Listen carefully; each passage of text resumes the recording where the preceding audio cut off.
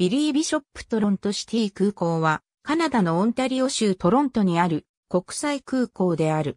トロントアイランド空港や、かつての公称で、トロントシティセンター空港と呼ばれることもある。トロント市街中心地に近く、オンタリオ湖岸のトロント島にある。ターボプロップ機を利用したコミューター路線、民間機、医療用航空などに使用されている。トロント港湾公団が運営している。2016年には270万人の乗客利用があった。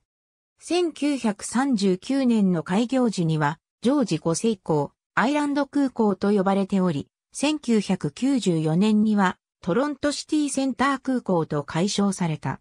2009年に第一次大戦での英雄ビリー・ビショップ空軍中将にちなんでビリー・ビショップトロントシティ空港と改称された。この空港はトロント島の一部にあり、トロント市街中心部から南西に位置する。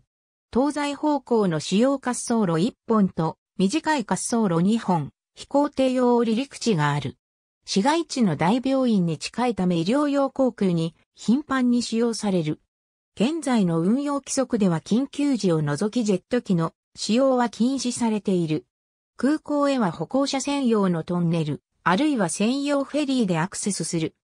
現在はコミューター航空会社であるポーター航空やエアカナダエクスプレス、パスカンアビエーション、さらにはこの空港を拠点とするフライ GTA が乗り入れている。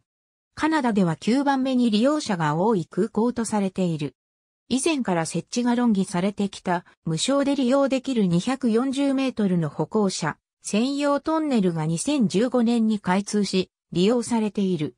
また、トロント港湾公団が運行するフェリーがあり、朝5時台から深夜まで運行している。122メートルの距離を渡る、このフェリーは定期運行する世界最短フェリーの一つとも言われている。